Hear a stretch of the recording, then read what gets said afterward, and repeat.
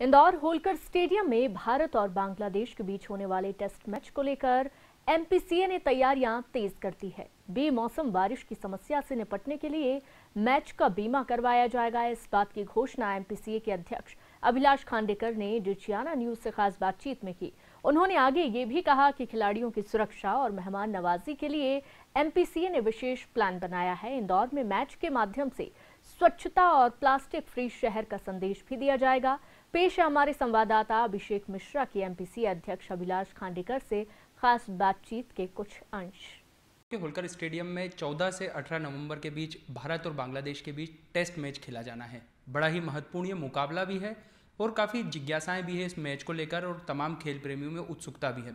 हमारे साथ इस वक्त मौजूद हैं एमपीसीए के अध्यक्ष श्री अभिलाष खांडेकर जी। हम प्रयास करेंगे कि आखिर किस तरह की तैयारियाँ मैच को लेकर यहाँ पर जारी है, वो उनसे जानकारी लें और साथ ही साथ किस तरह की चुनौती भी है इस पूरे बड़े आयोजन को सफलतापूर्वक संचालित करना। सर, पहला मेरा सवाल था किस तरह की तैयारियाँ सर जारी है? देखिए, ये दूसरा टेस्ट मैच इंदौर ऑर्गेनाइज कर रहा है। पहली बार इंडिया न्यूजीलैंड का मैच हुआ था तीन एक साल पहले। तो दूसरा मैच इंडिया बांग्लादेश का बहुत अच्छे तरीके से उसकी तैयारियाँ चल रही है। चौदह तारीख से जैसा आपको मालूम है, चौदह से अठारह पाँच दिन ये मैच खेला जाएगा टेस्ट मैच और लोगों ने इसमें काफ़ी रुचि दिखाई है।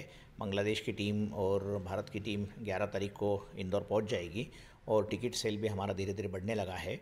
और हमारी तैयारियाँ तीन तरीके की होती है। एक तो ये होती है कि पिच ठीक ठाक रहे आउटफील्ड अच्छा रहे मतलब मैदान अच्छा रहे। दूसरी व्यवस्था होती है कि हमारे सत्ताईस हज़ार स्पेक्टेटर्स अर्थात दर्शक जो आते हैं, उनको किसी भी तरीके की अड़चन या दिक्कत स्टेडियम के अंदर में नहीं आना चाहिए। तो वो मैच का बहुत अच्छा लुफ्त उठा सके, अंतर्राष्ट्रीय क्रिकेट मैच हो रहा है तो उसका लुफ्त अच्छा उठा सके, उनको किसी भी तरीके से प्रवेश में दिक्कत नहीं हो, बाहर जाने में दिक्कत नहीं हो। और तीसरी तैयारी होती है कि हमारे जो एमपीसीए के मेंबर्स हैं साथ साथ में बाकी लोग भी जो यहाँ पर आते हैं, उनके खाने पीने की जो व्यवस्था है, उनको किसी भी तरीके की दिन भर बैठेंगे तो उनको भूख भी लगेगी बाकी, लेकिन हम अंदर स्टेडियम के कुछ ले जाना सब कुछ वर्जित है। तो इसलिए उनके खान पान की व्यवस्था भी देखना है, क्रिकेटरों को की ड्रेसिंग रूम्स की व्यवस्था देखना है, क्रिकेटर्स जो शहर में आने के बाद में होटल में जाएँगे, उनकी सुरक्षा का प्रबंध भी करना है। ये सारी चीज़ें हमारी चल रही है, स्टेडियम की जो कुर्सियाँ हैं, अब वो जो इसको मेंटेनेंस कहते हैं, कभी टूट फूट होती है, उनकी अभी तैयारियाँ सब चल रही है ताकि दर्शकों को दिक्कत नहीं हो। और मूल बात यह है, जैसा आपने कहा कि निश्चित रूप से काफ़ी चुनौतियाँ हैं, बड़ा मैच है आठ दिन तक देशी विदेशी क्रिकेटर्स इंदौर में रहेंगे। इंदौर के लिए गर्व की बात है।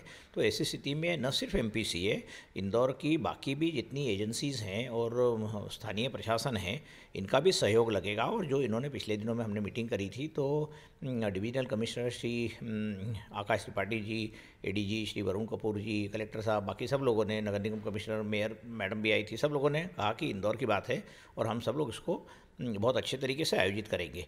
दूसरी बात यह है, महत्वपूर्ण रूप से कि मध्य प्रदेश क्रिकेट एसोसिएशन पिछले कुछ वर्षों से लगातार जो मैचेस आयोजित कर रहा है, उसमें बाकी स्टेट एसोसिएशंस के बनस्बत बीसीसीआई भी ये मानता है कि इंदौर में मैच बहुत अच्छे तरीके से आयोजित होती है। और इस बार हम वापस वही करने वाले हैं कि रिसाइकल रीयूज़ और इस तरीके के जो पर्यावरण से संबंधित चीज़ें हैं, हमारा स्टेडियम बहुत साफ़ रखा जाता है। ड्यूरिंग मैच भी बहुत कचरा नहीं होता है, फटाफट उठवा लेते हैं, प्लास्टिक पे पाबंदी लगा रखी है हमने।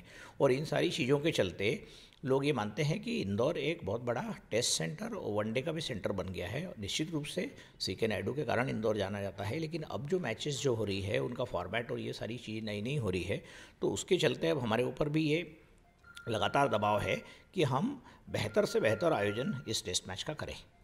सर, प्लास्टिक फ्री शहर का भी संदेश इस बार मैच के माध्यम से दिया जाएगा। वो किस तरह का, सर, एक पूरा प्रोजेक्ट रहेगा? देखिए, प्रोजेक्ट नहीं है। हम बीच बीच में अनाउंसमेंट करेंगे या हम स्क्रीन पर दिखाएँगे, हम कुछ ना कुछ ऐसी व्यवस्था करेंगे जिससे जो दर्शक आएँगे, उनके मन पर क्रिकेट के साथ में इस चीज़ का भी प्रभाव पड़े कि भाई हमारे नगर को या हमारे शहर को साफ़ रखने की ज़िम्मेदारी हर नागरिक की है। सिर्फ़ सरकार की या नगर निगम की नहीं है। तो उस तरीके के संदेश भी हम देने की कोशिश करेंगे क्योंकि महापौर ने भी हमको कहा था और किस तरीके तो हमारे दिमाग में भी यही था कि हम इस तरीके, जो थ्री आर का जो यूज़ कर रहे हैं तो रीयूज़ रिसाइकल और रिड्यूस इस तरीके की मतलब कम से कम कचरा हो, कम से कम यदि आपको पानी पीने की ज़रूरत नहीं है तो भी आप ग्लास में पानी लेके आप ग्लास फेंक दोगे नीचे, या उस तरीके की कुछ चीज़ें तो जो, जिस चीज़ की व्यवस्था ज़रूरत नहीं है, उसको ज़्यादा से ज़्यादा उपयोग नहीं करेंगे। तो कहने का मतलब ये है कि पर्यावरण के प्रति अब सजगता सभी लोगों की मैं खुद पर्यावरण के क्षेत्र में काम करता हूँ तो मुझे मालूम है कि पर्यावरण, पानी कितना महत्वपूर्ण है। प्लास्टिक की बोतलों के ऊपर सिंगल यूज़ प्लास्टिक को बंद करने की बात प्रधानमंत्री जी ने की है। तो ऐसे समय पर जब इतने ज़्यादा लोग सात मतलब पाँच दिन तक लगातार, यदि पाँच दिन मैच चलता है तो पाँच दिन तक लगातार बहुत सारे लोग, सत्ताईस हज़ार लोग के आसपास आने की हमारी अपेक्षा है। हो सकता है कुछ कम ज़्यादा हो, लेकिन इतने लोग यदि स्टेडियम में आएँगे तो उनकी देखभाल करना और उनकी तरफ़ से भी इस बड़े जिसको महायज्ञ हैं, जिसको कहते हैं पर्यावरण के रूप में, उसमें उनकी भी आहुति लगे, इसलिए हम उनको आह्वान करेंगे।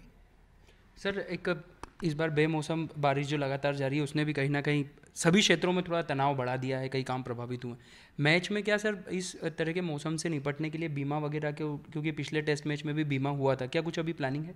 देखिए बीमा बड़े बड़े इवेंट्स का करने का प्रचलन कई वर्षों से पूरे देश में चल रहा है। क्रिकेट मैचेस का भी बीमा होता है इसलिए होता है कि यदि मान लीजिए कुछ म, म, कुछ यदि मान लीजिए जैसे आपने कहा बारिश हो गई बारिश हो गई मान लीजिए और यदि खेल नहीं होता है टिकट बिक गए हैं तो फिर जो टिकट खरीदने वाला है वो कहेगा मेरा तो पैसा चले गया।